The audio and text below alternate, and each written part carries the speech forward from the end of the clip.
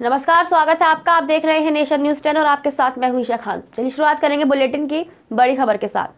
प्रधानमंत्री नरेंद्र मोदी द्वारा हल्द्वानी नगर निगम के लिए की गई 2000 करोड़ की योजनाओं की समीक्षा बैठक आज केंद्रीय रक्षा मंत्री अजय भट्ट ने ली। विकास योजनाओं को लेकर अजय भट्ट ने अधिकारियों की पीठ थपथपाई और साथ ही समीक्षा बैठक के दौरान हल्द्वानी शहर में सीवरेज, पेयजल, बिजली से जुड़ी योजनाओं की प्रगति रिपोर्ट की जानकारी ली।